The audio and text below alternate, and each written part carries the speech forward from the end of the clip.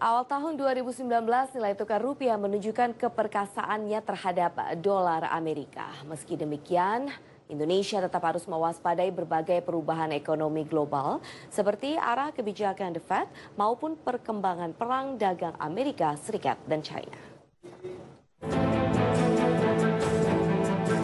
Pemerintah menilai penguatan nilai tukar rupiah terhadap dolar Amerika yang mendekati angka Rp13.000 dipicu oleh derasnya arus modal yang masuk ke pasar keuangan Indonesia lantaran prospek ekonomi domestik yang cukup positif.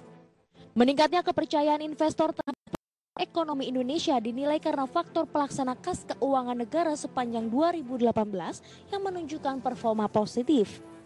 Meski demikian, Menteri Keuangan Sri Mulyani meminta tetap mewaspadai berbagai perubahan ekonomi global seperti arah kebijakan The Fed maupun perkembangan perang dagang Amerika dan China.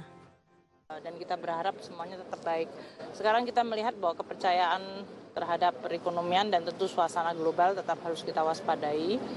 Uh, capital inflow sudah mulai terjadi sehingga neraca pembayaran menjadi lebih positif dalam hal ini. Oleh karena itu kita lihat uh, tekanan terhadap rupiah juga uh, sudah semakin uh, mengurang. Tapi ini kita akan jaga terus bersama Bank Indonesia dari sisi persepsi karena kemarin dengan APBN kita yang kita sampaikan sangat positif, primary balance-nya sudah mendekati nol, uh, defisitnya jauh lebih kecil itu menyebabkan uh, apa premium terhadap kepercayaan uh, terhadap surat-surat berharga di Indonesia menjadi meningkat.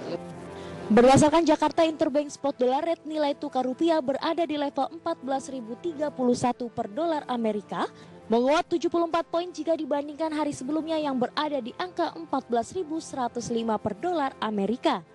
Dari Jakarta, Aulia Ramadan, Dede Rudi IDX Channel.